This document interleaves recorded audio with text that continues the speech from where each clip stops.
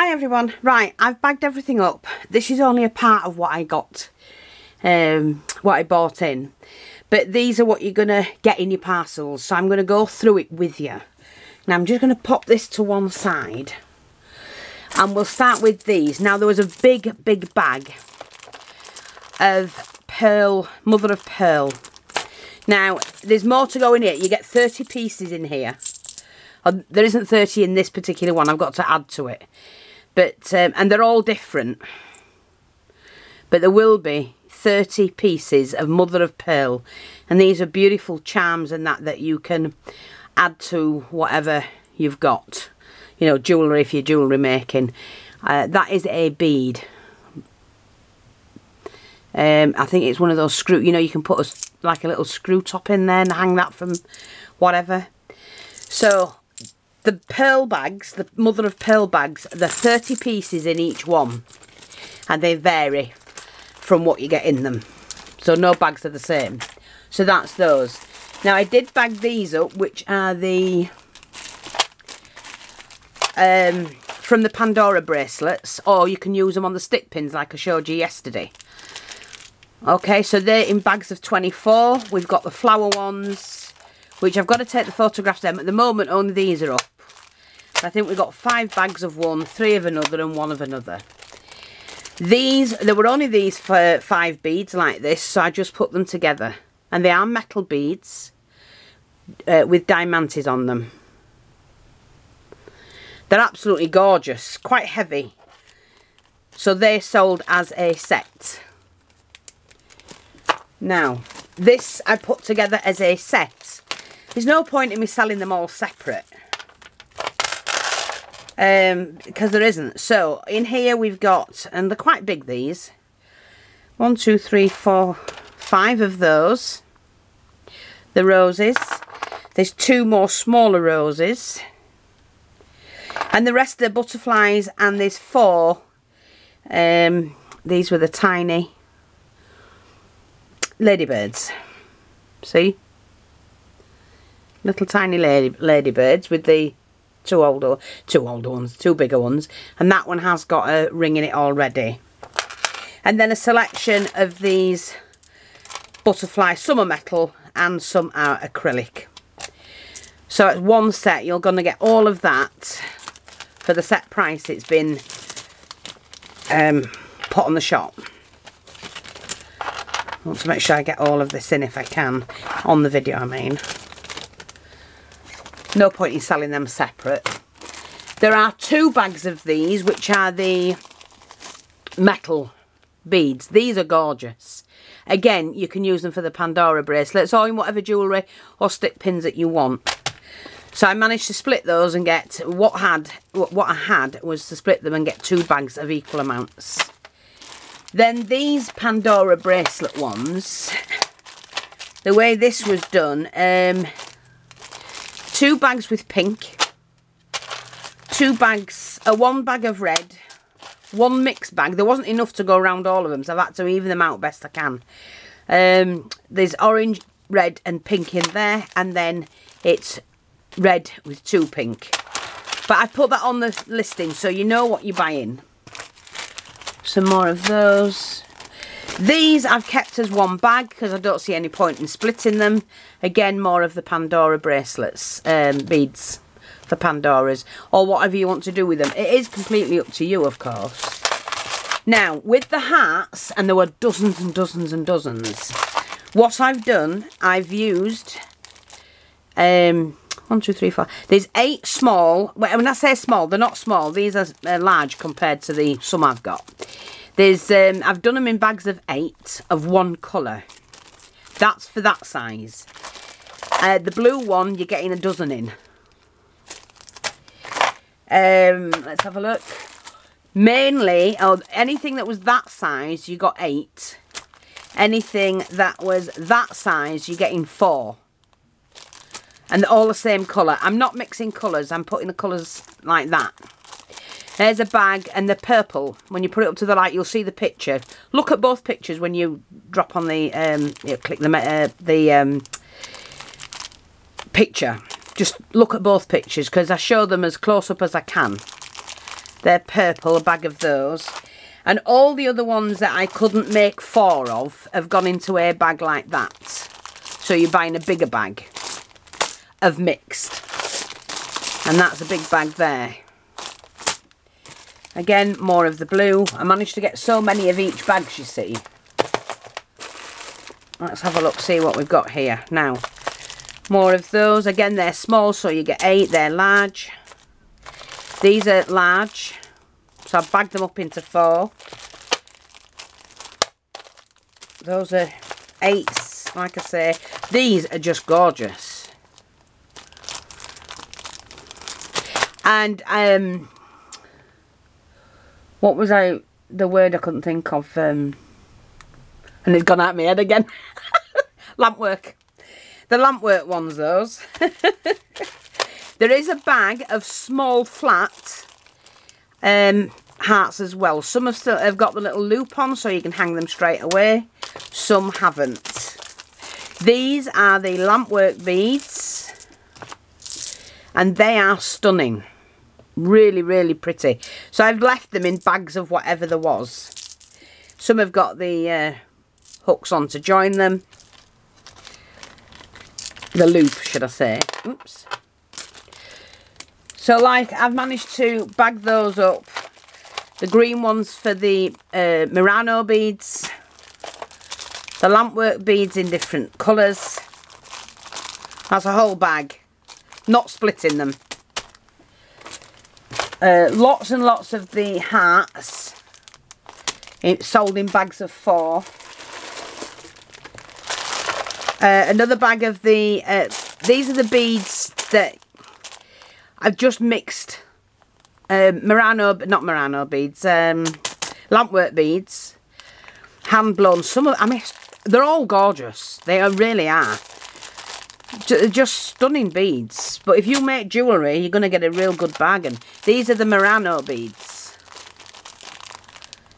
You know, with the silver inlay uh, centres. But they're great for the bracelets. More of the lampwork beads in red. More hearts. This is a bag. It, they were just acrylic beads. They were all the one colour and I put them together as a big bag. So they're only acrylic hearts. So I put in whether they're acrylic, glass or crystal. That's a different heart to that one. That's the silver inlay and that one's clear. It's got like a little gold um, spray in them. More of those. Just have a look, see what else we've got. These were all the round ones, but flattish stones. So I've just put them all together as one. It's easier for me just to get rid of them that way. I don't mean get rid of them, but to sell them that way. They were all the leftovers the heart ones, cylinder ones, um, more of those, the lampwork ones, more lampwork in blue, beautiful beads. And I know somebody wrote to me last time I sold these and they went, Fiona, you've sold them really cheap. I went, I know I have because I, we're not in it for... Um, it's really hard for some people to understand why I, what I do and why I do it. I'm here to give you the best bargain possible. As long as I get my money back, and obviously a little bit and pays the charges that I have and whatever, I'm fine with it. You lot can do, uh, buy them as cheap as chips. I don't care. You know, I'm not in it. People don't understand I'm not in it to make a killing and where most people are today. And everyone's shoved the prices right up. And mine are still the same. hey ho. But there you go. They'll all be sold eventually at some point. And there's a lot of beaders out there, you know, that what... Oops! Well, not that one. Where's it gone? Here we are. Come here, mate. There's a lot of beaders and people who make jewellery uh, grabbing these. These are the squared beads. I just put all the squared beads together. Because there wasn't that many, so I thought we'll put them all together. These are the um, milk glass ones like that, and they're gorgeous. These were, there was a couple of these single ones, I'll show you them in a minute. They were the orangey ones. Just trying to colour coordinate them so that it was easier to bag and whatever. The brown glass ones, I managed to do uh, a uh, hundred beads in each bag. So the only two of those. Um, these are the um, lampwork beads. Really decorative ones. I mean, they're gorgeous. And somebody will make use of them. Again, more of those. These were the elongated ones. Both barrel shape and um, the cylinder ones. This is a bag. They were all the little flower ones and leaves and things like that. The oddments. So that's done. These, let me have a look. These were the big beads. Pot beads and glass beads. Uh, so I just sold all them, uh, selling them all together. These are the Murano beads again, which are the like more clear glass ones. But they're all beautiful. Look at these flowers on them and that.